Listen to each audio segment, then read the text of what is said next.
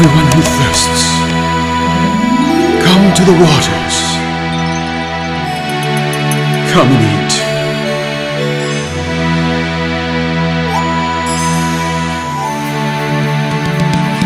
Listen diligently to me and eat what is good.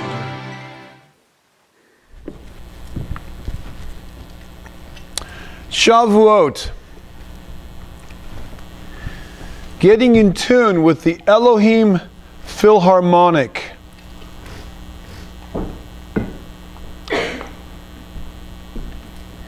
What I'm about to tell you is a story. It's our story. It's the story of our people. It's an old story, but it's a new story. But it's an old story.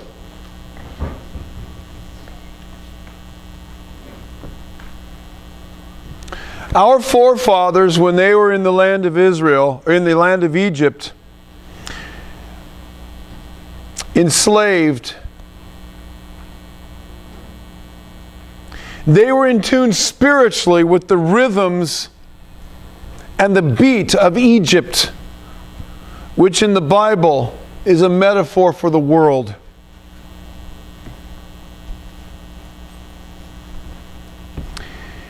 Yehovah Elohim, with a mighty arm, led the children of Israel out and away from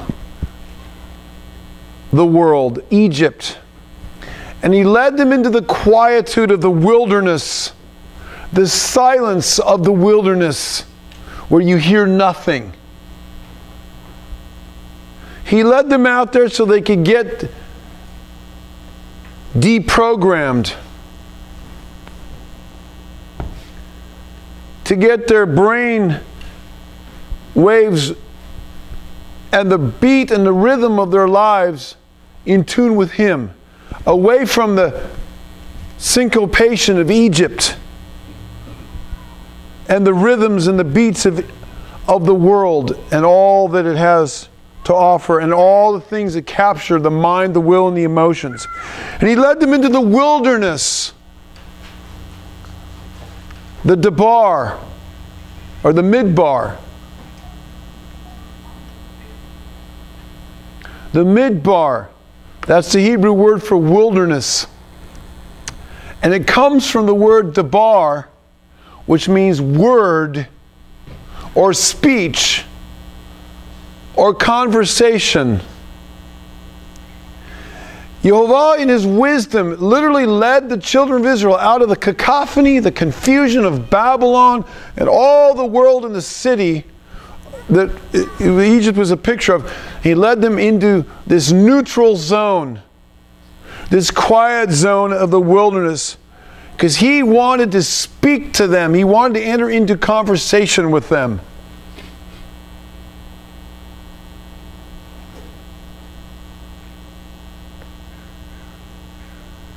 He wanted to teach them to hear His voice.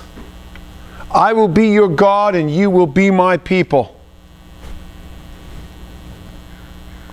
But they had to get deprogrammed. They had to tune out the noise of Egypt and tune in to the quiet, still small voice of Jehovah Elohim. The first place he led them to was Mount Sinai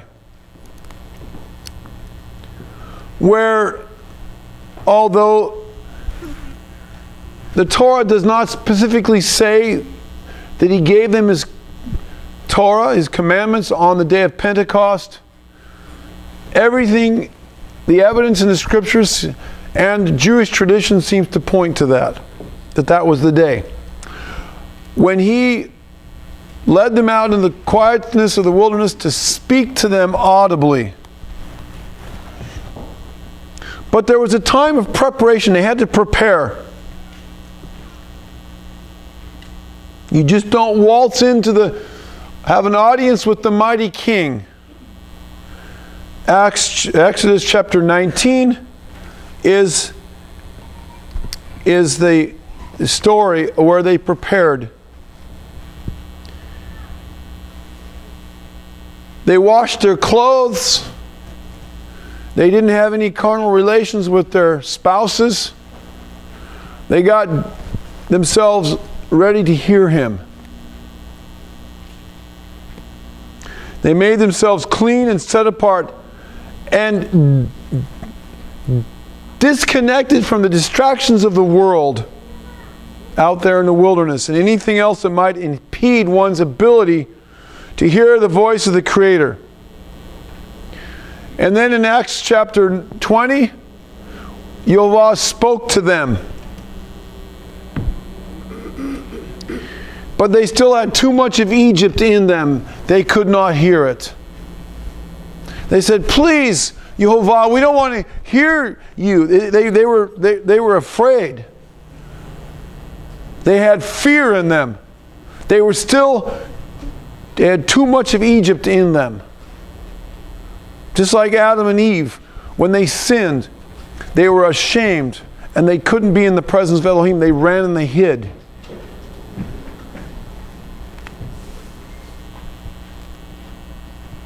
Their lives were still in sync with the mind, the will, and the emotions and the flesh of the, the, that was uncircumcised in them.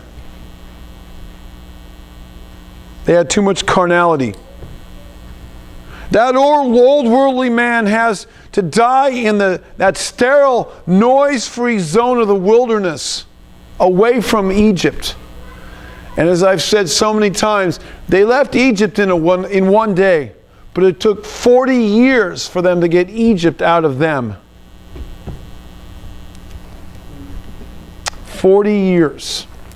Some of us have been working on that for 40 years, or 20 years, or 10 years, or 50 years. It's a tough one, isn't it? Nonetheless, Jehovah Elohim in His mercy, He gave them His Torah, His words of instructions to live by. And the Torah shows men, human beings, how to get in harmony with the Creator. Remember, we're talking about getting in tune with the Elohim's Philharmonic. Do you see the Torah is like a tuning fork? The Torah is a tuning fork. If you're a musician, you don't maybe don't use tuning forks anymore. When I used to sing in a church choir, the choir director would take a tuning fork out of his pocket and he'd, he'd bang it on something and he'd, he'd, he'd hear middle C or whatever, and then he would get in tune. Um, those of us that have like guitars, we have some of us. I have a guitar and it has a tuning, a tuner built into it, or some of them have guitars or cl clips you clip to it or you, have there's all kinds of tuning but you got to get in tune so all the musicians that we have up here can play in harmony with each other. Otherwise it's, it's confusion. Well the torah is our tuning fork to get in harmony with Yehovah Elohim. It's his musical pitch. It represents his mind his will and his heart for us and when we get in tune with that, we get out of tune with the world, the flesh, and the devil, and Egypt.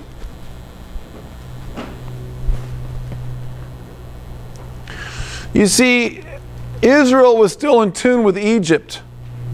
And that was evident by the fact that for the short period that Moses was up there on Mount Sinai, they fell into golden calf worship. Worship this God that they brought in their hearts from Egypt. And they mixed it with the worship of Jehovah Elohim, and they said, Today, pardon me, is a feast unto Jehovah Elohim. That was where they mixed Torah with Egypt, with the with the with the with the paganism of Egypt. Men have been doing that ever since. They, they don't want the pure word of Elohim. They want to mix it with their traditions. you got religions called Christianity and Rabbinic Judaism. They're mixture religions. There's good things in there, but it's they're mixed. It's mixture. And he's calling his people out of that Babylonian mixture. So Israel was more in tune with Egypt than they were with Elohim. And you know, Moses was a holy man. And when they did that, what did he do? In Exodus 33, verse 7, he couldn't even live with them. He separated himself out from the people of Israel and he went outside the camp. He pitched his tent outside the camp.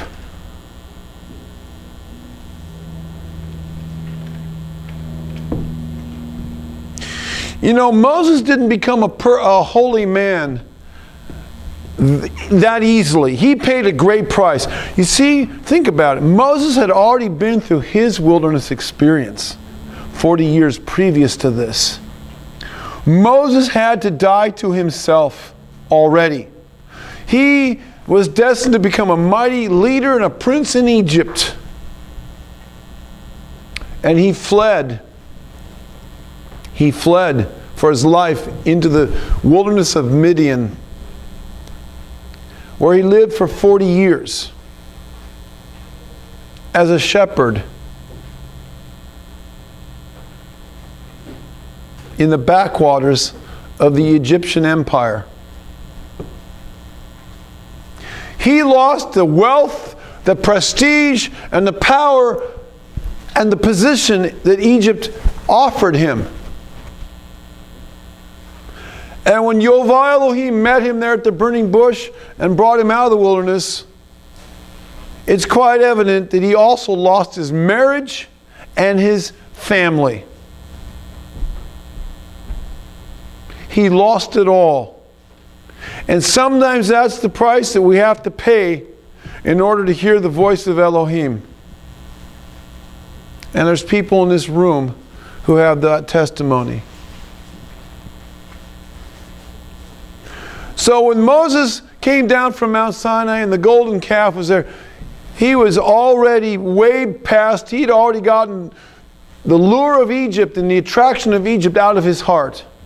And these people that have gone whoring after the gods of Egypt, he just had to get away. You know, spiritual leaders are often, if they're true spiritual leaders, are out a little bit ahead of the people that they're leading. Otherwise, they're not leaders. Elohim has got them in a place a little bit closer to Him. If they're true leaders, they're going to be out a little bit of ahead. It's like a shepherd, he's got to be out ahead of the sheep. A good shepherd doesn't have to drive the sheep. Uh, you know, unless you have thousands of sheep in your flock. On the sheep farm I grew up on, we led the sheep. I didn't drive the sheep. We led the sheep. Sometimes had 30 sheep or so, and I could lead them anywhere because I knew how to lead the sheep. So Moses had already gotten in tune. And he prepares his leaders ahead of time, and he prepared Moses ahead of time. Moses had paid a dear price. You know, the whole history of Israel, from the golden calf incident on, up until the day of Pentecost in Acts chapter 2, can be described as this tension between uh, being in sync with the vibes of the world, the harmony and the melody of the world, which I don't even think you can call it a harmony or a melody. It's like what modern classical music sounds like. It grates my ears. I can't listen to it. Or modern rock music, a lot of it, especially the real heavy stuff, gives me a headache with that beat. I'm, I'm, a, I'm a fan of J.S. Bach. That's the kind of music I listen to because it's harmony, it's beautiful, it's rich and there's rhythm and there's melody and there's all of those things and it's, it, one doesn't overpower the other and it's for the glory of Elohim that kind of music this modern music I can't even stand most, most modern Christian music it's it's not all of it we, we sing some nice stuff here but a lot of it you listen to I, I turn on Pandora on my iPhone and I'm listening to it and it's a bunch of humanism It's a bunch of humanism. Not all of it. It's about it's all about me. What Jesus has done for me. It's the world. Let's just worship him. There's some in there that where they, but mostly it's what has he done for me? Jesus loves me. He has a wonderful plan for my life. It's not about me. It's about him. And that's the downfall of this nation and of the Christianity. It's all about me. What's in it for me? It's called narcissism. It's called secular humanism that has invaded and taken over, to a large degree, Christianity. And I know David had Psalms where there were, you know, where, you know, he was dealing with issues. But, and he thanked the Lord. And there's, there's a place for it. But most of it was worshiping him for who he is. And in the process of losing our lives in him, we all of a sudden, our problems get cleared up in life. When we get out of tune with our own woes, woe is me, like the, you know, and uh, like, like Pigpen in the Charlie Brown. Always walking around with this pig pen, and everybody gets sucked into your own personal pig pen. It's like just worship Him, and in the process, your problems get solved. It just happens. And that's what happens when we get in tune with Yehovah Elohim.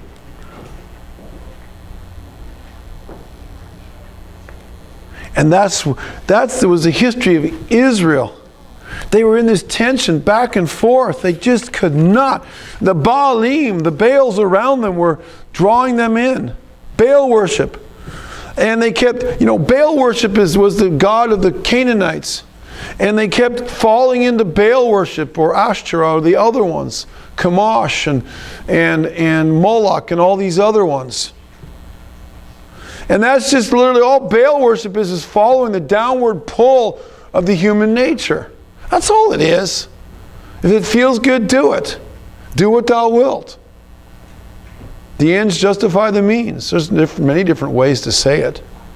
And this is what they, to a very large degree, succumb to. Instead of, instead of following the upward pull to go against you know, the gravitational downward pull of the flesh and of the world and of the devil, following the Torah means you got to ascend to go up to Him, not just take that slippery slide, slippery slope slide into the basement of, of, of, of our base nature and follow whatever, you know, whatever we feel like doing. Following the Torah is an uphill climb. It's climbing a mountain. You don't climb a mountain to do whatever your, you know, flesh feels like doing. That's just going, that's going with the flow. That's being swept downstream. So on the day of Pentecost in the book of Acts, you know, the Israelites did not have a heart to serve and to worship Him because their hearts were uncircumcised. He desired that they have circumcised hearts. Uh, Moses mentions that several times in the Torah. To, I think twice in uh, twice in um, um, Deuteronomy, and I think once in um, Numbers maybe it's Leviticus. But he mentioned that he desired that they would have a circumcised heart, that they get out of tune with Egypt. Well, it wasn't until the day of Pentecost when the Holy Spirit came down onto each person, and Yehovah wrote his Torah on their hearts. That was the big breakthrough, that internal dynamo inside of men to help them to walk out the Torah and to get in sync and in tune with the Torah. By the way, this is being filmed and it will be up on YouTube.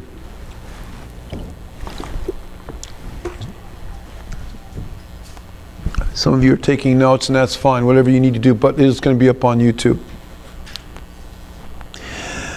And so that was a huge breakthrough. At that point, with the help of the Holy Spirit in our hearts, as it's this dynamo, it helped us to get in tune with the Spirit of Yehovah Elohim. And to get in tune with the symphonic message of the pro of the pro Torah gospel message, which was to be taken to the lost sheep of the house of Israel, who were scattered throughout the world. Now, it's interesting to note when you stop and think about this. The whole earth, all of nature, all the universe is in sync with Yehovah Elohim.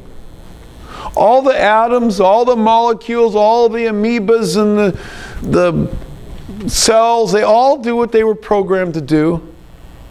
You know, the birds migrate, the butterflies, the, they all do what, what they're supposed to do at certain times. The grass grows, the clouds come, and it rains, and there's these cycles, and the seeds go in the ground, and then they, they sprout. and the birds at a certain time of the year, and the squirrels and all the other animals mate, and they have babies, and they do this.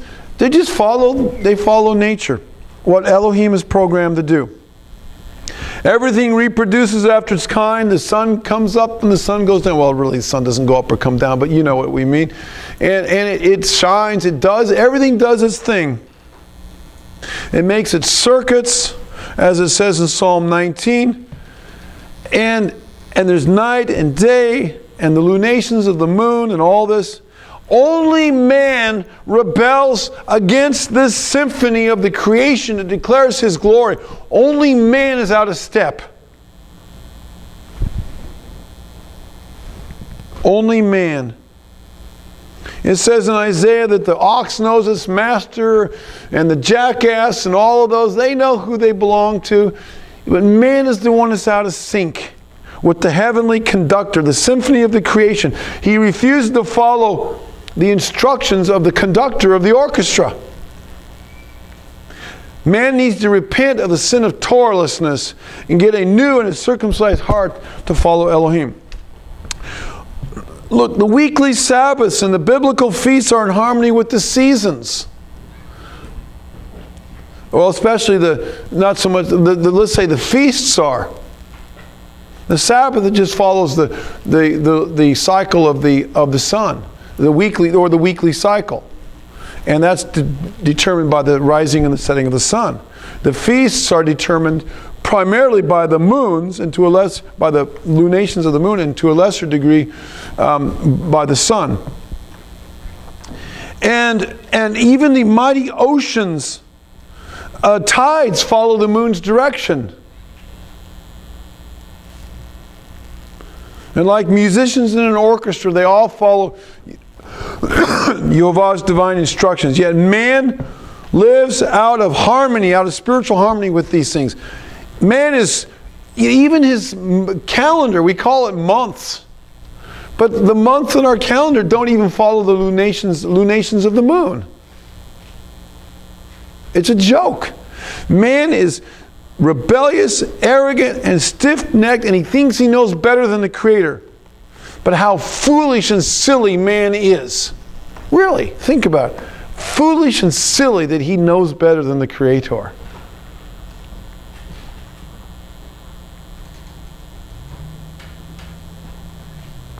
Yes, the whole creation is shouting. Yes, it's screaming to us to follow the Creator, His direction, the Torah. Yet men refuse to listen because they're in tune with Egypt and the hardness of their hearts and the pride and the rebellion.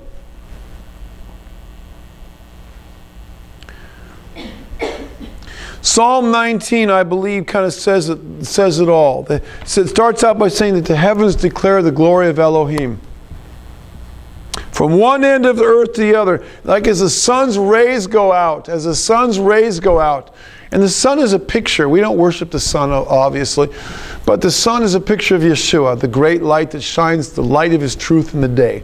Malachi picked up on that in Malachi 4 2, where he, Yeshua is referred to as the sun of righteousness, S U N. And he's going to be the sun who shines in the New Jerusalem there at the end of in Revelation 21 and 22. And just like, and Yeshua's face shines like the sun. There, the there's a revelation of him or a vision of him in, in uh, Revelation chapter 1 that John saw. So the sun shines and, and, and eliminates the darkness, just like the truth of Elohim eliminates the darkness. And the sun has the ability to purify and to cleanse. And it removes the darkness. Well, Yeshua is the living Torah. He's a son of righteousness. And he brings, he has healing in his wings, his kanaf, Malachi 4 2. And he comes and he brings healing to those that, that, are, um, that are, have troubled souls. And he's like, he's a spiritual light of the world, as John says in John 1, verses 7 and through 9. And, and again, Yeshua declares that about himself in, in uh, John 8 uh, 12. And the Torah is the spiritual light that brings us to Jehovah. And as I said, puts us in harmony with Jehovah, our Elohim. And Psalm 19 says it all. Let me go through the list here, starting in Psalm 19, verse 7. It says there, David says, Jehovah's Torah is perfect. The word perfect there means complete, sound, entire, wholesome, innocent, or having integrity. So the Torah is perfect, converting the soul. Continuing then, the next, the same verse, the Torah is pure, making simple the wise, uh, making the simple wise. I'm just going down the list here Psalm 19. We could probably st stop and park at each one of these points and get, get a whole wealth of, of meaning and significance out of each one. The Torah is pure, enlightening the eyes. Verse 8. The fear of Jehovah, which is, is, which, which is learned through the Torah, learned through Torah obedience, is clean and endures forever. Verse 9. The judgments of Jehovah, which are based on the Torah, are true and righteous and more precious and desired than gold and sweeter than honey. Psalm 19, verse 10. the Torah warns us of danger. Psalm 19, verse 11. There are rewards and benefits to following the Torah. Psalm 19, verse 11. Obeying the Torah keeps the, us from error and secret faults and presumptuous sin and keeps us blameless and innocent and from great transgression. Psalm 19, 12 through 13. The Torah keeps the words of our mouths and the meditations of our hearts acceptable in Jehovah's sight. The Torah is our strength and points us to our Redeemer, Yeshua, the living Torah, through whose example and inner strength of His Spirit we can walk in the ways of His Torah. Verse 14. These are all the benefits of the Torah. There's a everything you need in your life is there. Everything to get in tune with Jehovah, to get to, to, to go to live a fruitful, blessed life, it's all there in Psalm 19, in the, all the things we just said. So being in harmony with Jehovah's Torah, both his written Torah, which is really the whole Bible, but specifically the books of Moses, and being in tune with the living Torah word, which is Yeshua, the Word of God, the Son of God incarnate, the living Torah, puts you in Jehovah's spiritual river of life. That's the sweet spot where he, where he desires for each of us to be, where we're in harmony and in tune and in sync with Him. That's when the orchestra all comes together and is playing the same tune.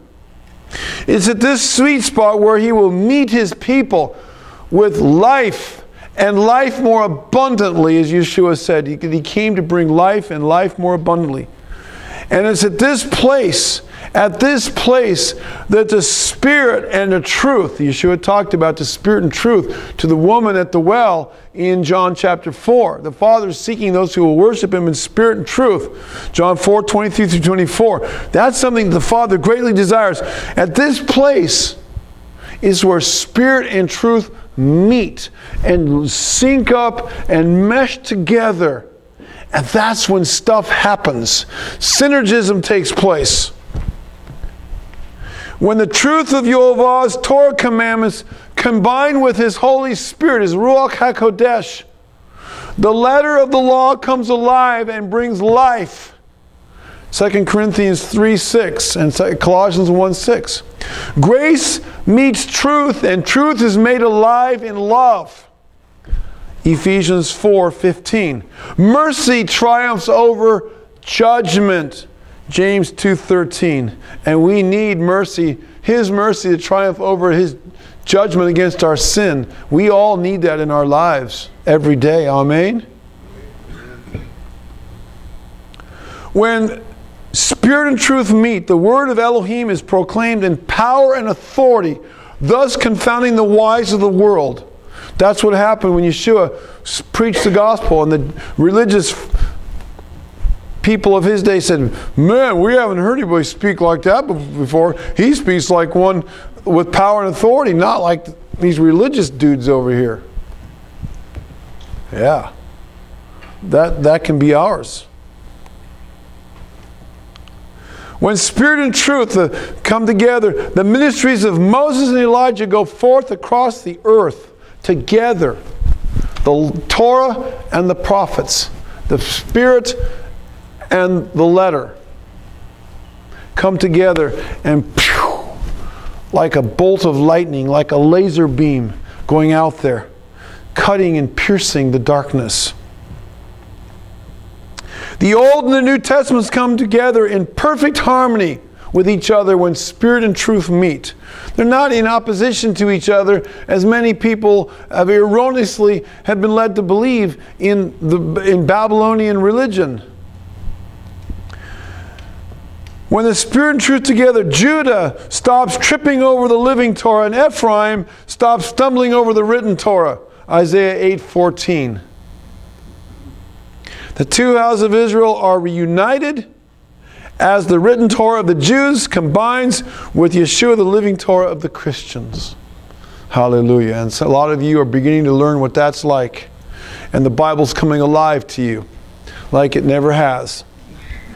When spirit and truth meet together, the written and the living Torahs combine to form the full picture of Yahweh's plan of salvation. When spirit and truth come together in that day, Judah and Ephraim will say, Come, let us return to Yehovah. For he has torn, but he will heal us. He has stricken, but he will bind us up.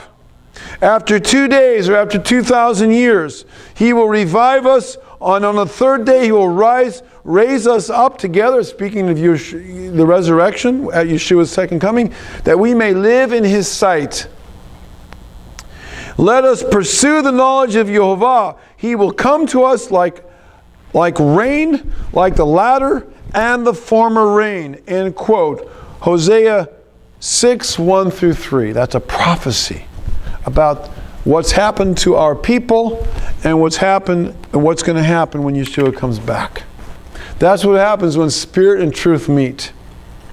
When spirit and truth meet in that day together, Judah and Ephraim will say, Elohim is our salvation. Literally, the, that's from Isaiah 12. The word there is for salvation is is the Hebrew word Yeshua. They will come together and they will say, Elohim is our Yeshua. That's one of the scriptures that confirms there the deity in the Old Testament or the Tanakh, the deity of Yeshua. Yet Elohim is our Yeshua. Yehovah is my strength and song and has become my salvation or my Yeshua. Another proof of the deity of Yeshua. Therefore, with joy, they will draw water from the wells of salvation. Yeshua. Three times there. Yeshua is our Savior and Yeshua is our Elohim. Hallelujah. Don't let anybody don't don't let anybody talk you out of the deity of Yeshua. That's a pit of hell. That's a lie of the devil. It gets a lot of people shipwrecked spiritually. And finally, when spirit and truth come together, the two houses of Israel will be joined. They will be joined the two sticks will be made one. The stick of Judah and his companions, and Joseph and the stick of Ephraim and his companions will become one in the hand of Yehovah Elohim. As, as, as it as Ezekiel 37, the prophecy says there. Together, the children of Israel and the children of Judah will come weeping and seeking Yehovah, Yeshua, their Elohim, and the way to Zion. They will say, Come, let us join ourselves to Yehovah in a perpetual covenant that will not be forgotten. Jeremiah 50, verse 4 and 5. You see, the day of Pentecost in Acts chapter 2 was a partial, in there in the upper room, was a partial fulfillment of these prophecies. It was the beginning. It's it hasn't, it hasn't been fully fulfilled yet. That will happen when Yeshua comes back.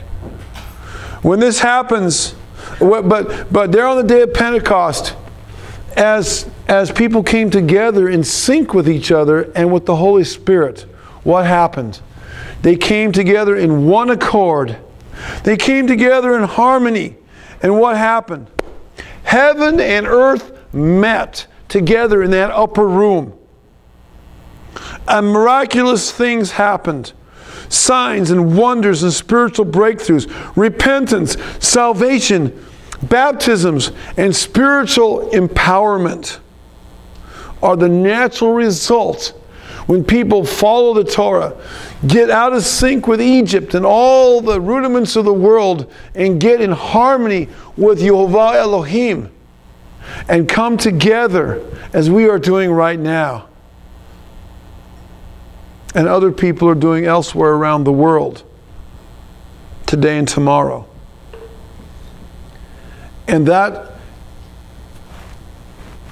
that's what happened there in the upper room. Yes, this this is a picture of the tree of life, the river of life. This is what happens when men repent of their sins, of the sin of Torahlessness, and return to Yehovah Elohim. Doing this puts us in sync with the entire, with Yehovah Elohim and the entire universe and the whole creation. Remember what happened to ancient Israel when they got out of sync with Elohim. Even the land of Israel rose up against them. It didn't rain in its season. When they didn't keep his Sabbaths, his land Sabbaths, and all the rest of them, everything was a mess. Their enemies rose up against them and there was famine, there was droughts, there were all kinds of things. But when they were in sync with him and following his Torah, the land, I mean, the, the land bore. When they came to the sixth year, they had a, and it was it, it, they had a double portion that year. So in the seventh year, the Shemitah year, they were able to rest. And if it was if it was a Shemitah, a Jubilee, they had three years. In one year, the land produced enough abundance for three years. How would you like to have your job or your business so blessed in one year that you wouldn't have to work for three years? How would you like to have your business so blessed or your income so blessed that every seven years you could take a year off and you didn't have to plant your, harv- your crops or go to, go to work? Look, I, I own a business, but I can't say that I'm living in that kind of abundance. There's higher levels that we need to attain to. So when they came together in the upper room, it was a powerful thing that happened there. And we want to be in sync with Yehovah Elohim. This, when this happens, this is the marriage of Yehovah Elohim with his people. This is this marriage of Yehovah Elohim with his people. This is the two becoming one. And we got a picture of the, the chuppah, we got the, the chuppah here, which is a picture. That's when Yehovah Elohim married his people there at Mount Sinai, most likely on the day of Pentecost. It's a picture of this. The two becoming one. One flesh, one covenant, one spirit, one Torah one family, one, you know, all of that. It's oneness, it's unity, it's harmony, together and in one accord. That's what was happening on the day of Pentecost. Heaven and earth met. The, the bridegroom and the bride coming together. Yes, this is redeemed Israel who has a circumcised heart, and the Torah law is written on their hearts, and they love him, and they show their love and adoration for him by keeping his commandments. These are the robes of righteousness, these are the wedding robes of righteousness that the bride needs to be putting on herself. And we see that in Revelation 19 7 through 8. Yes, Yehovah Yeshua, our Lord, is knocking on the doors of our spiritual houses to wake us up from the slumber of our lukewarmness, as Revelation chapter 3 says. He's walking, knocking on your, the door of your heart and the door of my heart. That's what Revelation 3 to the Laodiceans is talking about. It's not talking about the people out there in the world who've never heard the gospel. It's talking about his people that went to sleep spiritually. Where is the promise of his coming? All things continue as they have from the beginning of the age. As it says in, what was that, 2 Peter 3 or 4, somewhere in there. And he says, Know you not, you fools, that in one day flood came on the earth and it came on Sodom and Gomorrah, the judgments, and, and, and, and, and the fiery judgments of Yehovah are coming on this earth again, and the earth is going to be consumed. I believe is speaking about the lake of fire there. I don't want to be part of that. If the fire comes on me, I want it to refine me because I'm gold, silver, and precious stones, not because my life is made up of wood, hay, and stubble. The wood, hay, and stubble is the stuff that we take out of Egypt that we're in harmony and sync with. That's the wood, the hay, and the stubble. And, and, and we have to always be in touch with Egypt. We, I mean, we even have to be have our phones going and, and, and listening and wired in and all the time. Egypt and, and, and listening to the voices out there. This generates tough. I mean, I got a phone.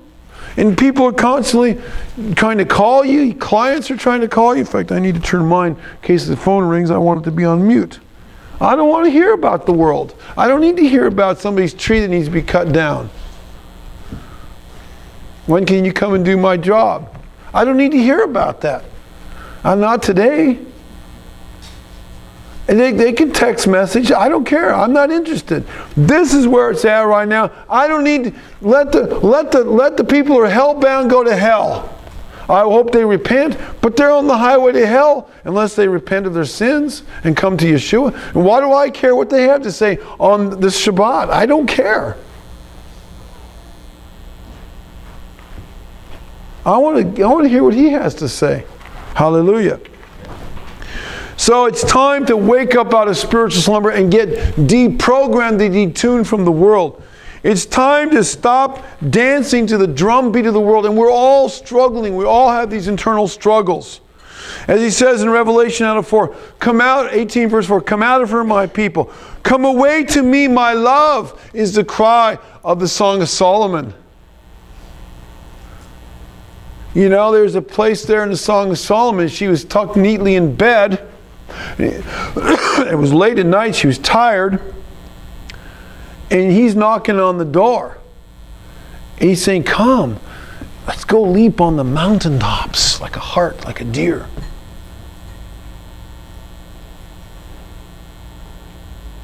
The pulls are just so strong, aren't they? Just can't turn it off. And she was in bed, and she didn't want to get her feet dirty and go across the floor. That's you and me. The comfort zones of our religion or, the, or our nests that we've made in the world with religious trappings. You draw near with your lips, but your hearts are far from me. Like I told a guy the other day, a client.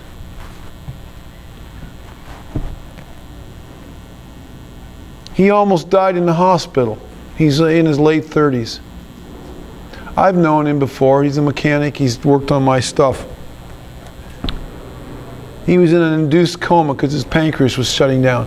It's because he was a he was a boozer. And he admitted, he says, I put myself in there because of my alcoholism, and he stopped. He said, I met Jesus in there. I said, Really? I said, What do you mean you met Jesus? He said, You know, oh yeah, I've known Jesus. But I don't go to church, but I know Jesus. I told him, I says, just because you go sit in a car, and because you go sit in a garage, that doesn't mean you're a car. Just because you go sit in church doesn't make you a follower of Yeshua. That's what I told him.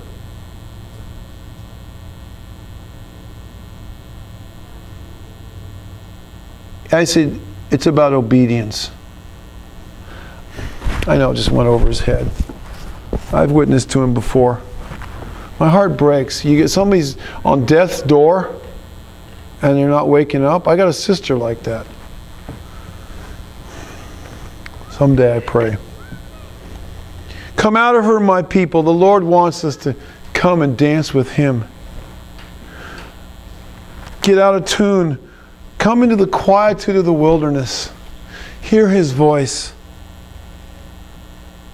Come out of Egypt. And as I say here in my notes, turn off the television. Take the earbuds out of your ears. Turn off the video games. Turn off the texting. Turn off the mad pursuit of material possessions and head knowledge. Say no to your friends who want to lead you astray. Look, look, they don't know they're trying to, they don't know they're leading you astray. They're just following what they normally do. A pig likes to wallow around. Those are, I hate to say, those are pig stalls down there. This barn is, I'll talk about the barn in a minute. They've been cleaned up, but that, those are, that's where they came.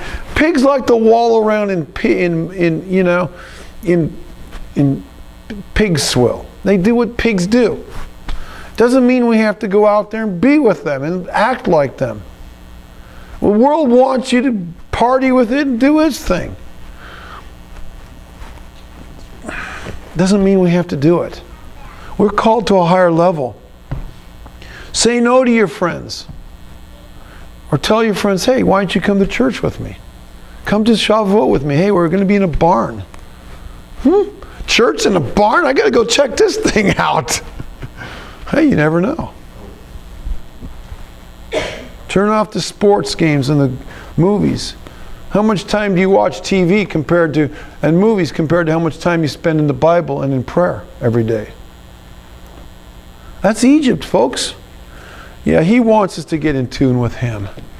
In tune and in harmony with Yehovah Elohim, the fountain of living waters, the divine conductor of the universe. Let's get in sync with that. Let's get in sync and in tune with the heavenly philharmonic. Amen. Amen. Amen. Hallelujah. Seek the Lord while he may be found. Call upon his name. He's near. He's near. He's near. Yeshu Hashem Behir Matzov Keravu Yoto Karov Karov Yasov Rasha Darko Veisha Ben Machshevotav Yashovel Ad Hashem הרבה כיס ישוע השם בהימצאו קרבו